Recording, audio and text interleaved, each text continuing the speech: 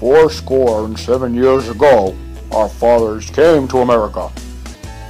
And we set forth in this land.